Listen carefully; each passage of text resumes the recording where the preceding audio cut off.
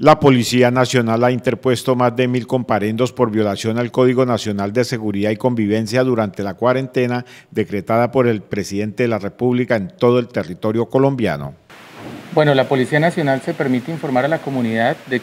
que desde el momento en que inicia el aislamiento preventivo obligatorio, la Policía Nacional, en aplicación al Código Nacional de Seguridad y Convivencia, ha aplicado 1.444 comparendos de los cuales 445 se han impuesto a personas de origen venezolano y 5 a personas de nacionalidad ecuatoriana. Igualmente tenemos que informar que en aplicación al Código Penal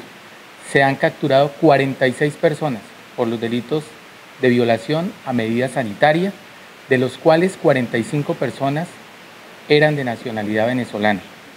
El comandante del Departamento de Policía Arauca, coronel Darío López, manifestó que se han hecho controles sobre las vías y también se han interpuesto comparendos por violación al Código de Tránsito. Es importante también resaltar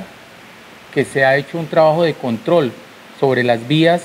del departamento y se han realizado 663 comparendos por infracciones al Código Nacional de Tránsito, donde se han inmovilizado 496 vehículos. Durante este periodo de aislamiento preventivo obligatorio, donde se ha dispuesto la apertura de un corredor humanitario para que personas de origen venezolano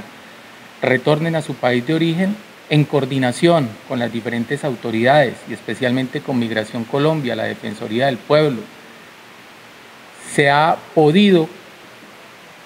eh, hacer las coordinaciones para que 7.059 ciudadanos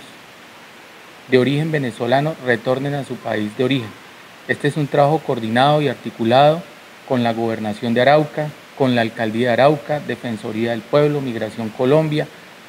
las fuerzas militares y la Policía Nacional. Es un trabajo que hemos articulado, que se han colocado a, disposición de estas personas las capacidades institucionales para lograr que estas personas puedan retornar a feliz término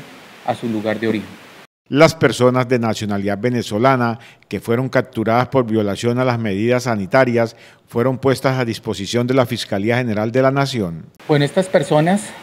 han sido dejadas a disposición de la Fiscalía General de la Nación. Algunas de estas se encuentran privadas de la libertad. En otros casos eh, se ha dispuesto eh, la privación de la libertad en sus domicilios.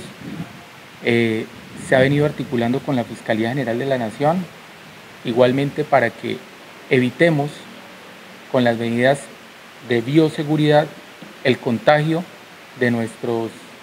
hombres y mujeres policías y los funcionarios de la Fiscalía General de la Nación y demás autoridades judiciales que participan en los procedimientos. Para las autoridades del departamento de Arauca, en los últimos días se ha visto gran cantidad de personas en las diferentes vías públicas. Bueno, a medida que el gobierno nacional ha venido aperturando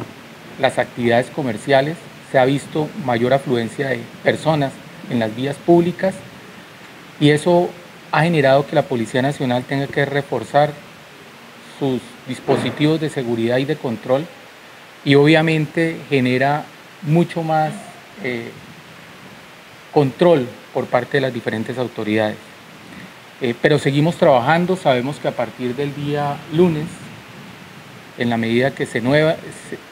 aperturen nuevos establecimientos de comercio y otras actividades comerciales vuelvan a su normalidad,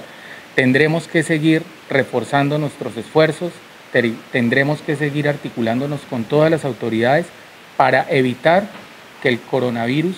COVID-19 llegue a esta región del país